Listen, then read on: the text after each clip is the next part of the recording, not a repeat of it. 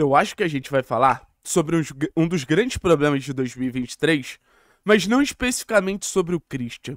Sobre um cenário que foi muito nocivo, principalmente na reta final do Atlético na temporada, que foram as lesões. Chegou um momento que o Atlético não tinha, basicamente, ali meio time. Não tinha Pedro Henrique, não tinha Fernando, não tinha Madison, não tinha Vitor Roque, não tinha Christian. Teve um momento que eu não tinha Alex Santana, teve um momento que eu não tinha Pablo, teve um momento que eu não tinha Canóbio. Teve um momento que eu não tinha Fernandinho, teve um momento que eu não tinha Eric. O Atlético sofreu demasiadamente por causa das lesões em 2023, gente. Ah, mas a gente não se classificou na Libertadores por causa disso. Ah, a gente não se classificou na Libertadores por causa daquilo.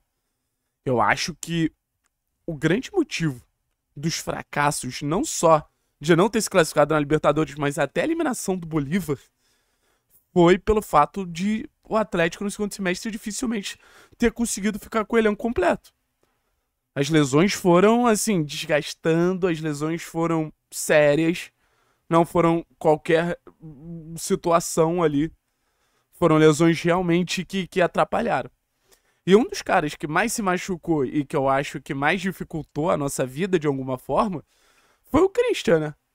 O Christian, quando ele se machuca contra o Vasco, era aquela reta final de primeiro turno, ainda iam acontecer os jogos contra o Bolívar. O Atlético tava bem, G6, G4, G6, G4. O time tava jogando bem.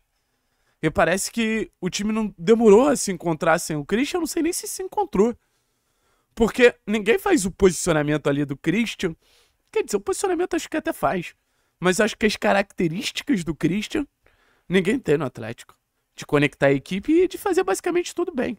É o jogador mais eficiente que eu acho que a gente tem no, no, no time do Atlético. Por isso que eu boto ele num primeiro patamar ali de jogador, de referência técnica mesmo.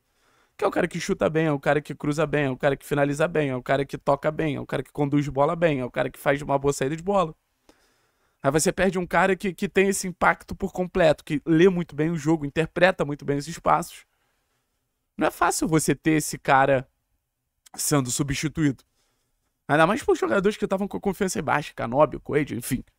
Então, assim, acho que o primeiro ponto desse vídeo é entender que foi um absurdo de nocivo pro clube não, com- não poder contar com o Christian em 2023.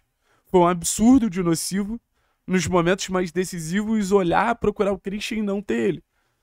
Eu sei que é um jogador discreto, eu sei que é um jogador que, que não tem tanto hype, mas acho que dá pra afirmar que é um jogador que contribui em todas as zonas do jogo.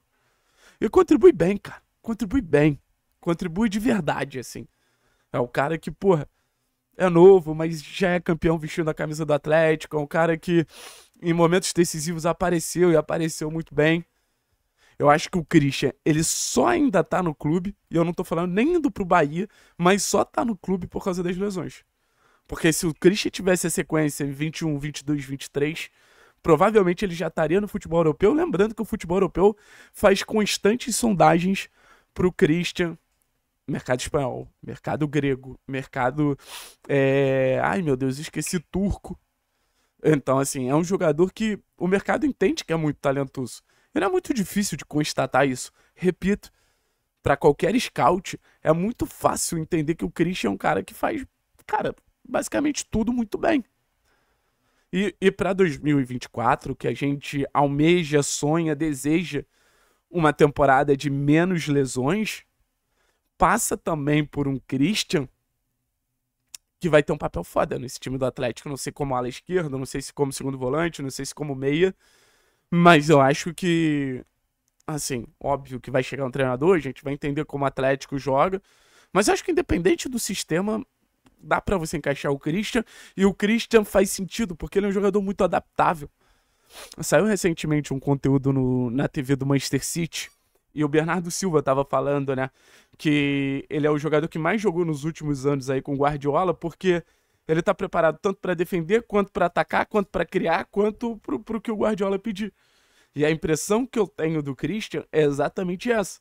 Se ele precisasse ser um segundo volante no jogo mais reativo, ele consegue ser esse segundo volante.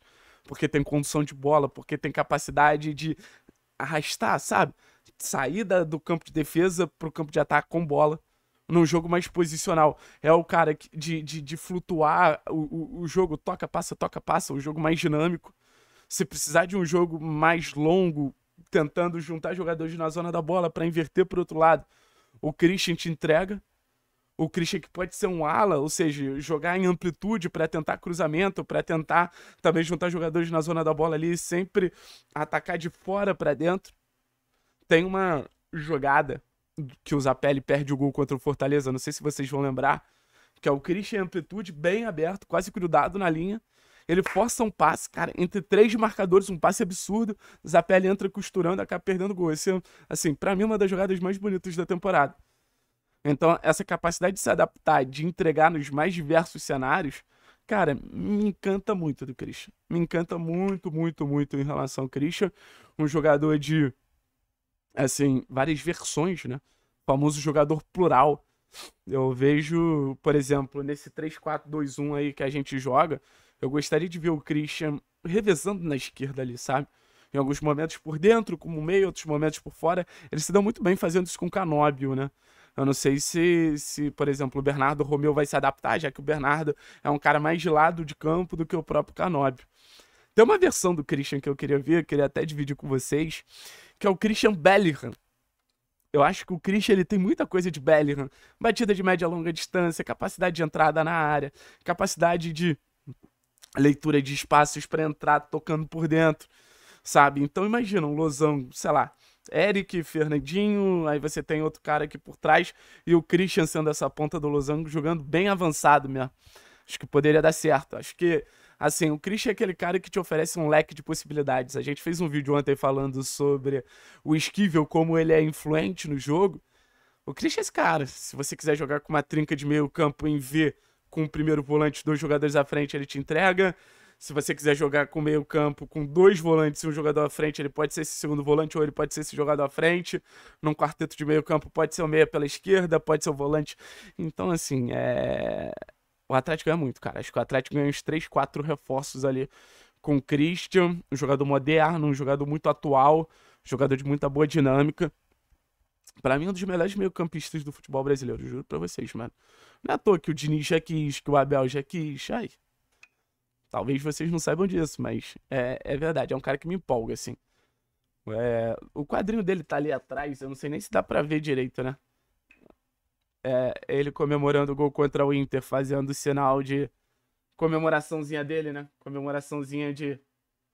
De. Eita, pô! Comemoraçãozinha de continência. É um cara que. Gosto bastante. Vou, vou falando assim, porque, Caio, é um cara que eu gosto bastante. Acho que pode nos ajudar muito em 2024. Acho que a questão das lesões é uma questão séria, é uma questão que atrapalha, é uma questão que não consegue dar ritmo, não dá sequência. A gente sabe como a sequência é importante para o jogador de futebol e a gente sabe quando o Christian teve sequência, ele deu assim respostas ótimas desde 2020, que foi o ano que ele subiu e, e, ele termina a temporada como titular, principalmente por ter sequência ali com o Paulo Autuori.